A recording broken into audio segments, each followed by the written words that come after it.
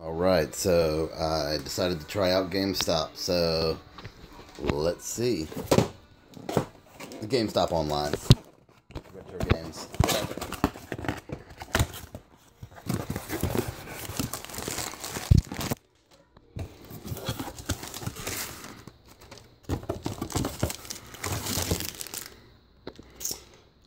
So Marble Madness, I got that for like three bucks. It looks pretty clean.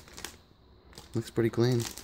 I did not try to get anything expensive because I've heard what they do or have done. And then I got Eternal Champions for like three or four bucks. And it looks in pretty good condition. Hmm. Alright, cool. Well, hopefully they work. I'll try them later. Alright. And here is package I got from China. Hold on one second.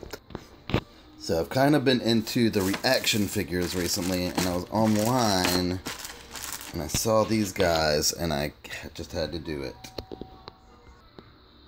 So it is um, some reaction predators. See, there's no mask.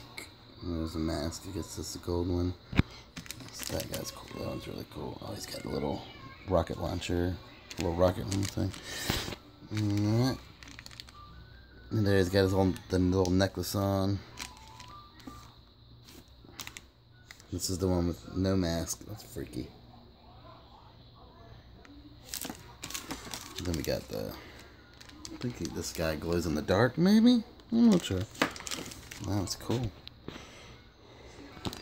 Holy smokes, I forgot one. This is, I think this might be the glow in the dark guy. It's like, no, it's just like the translucent. Like invisible. Hmm.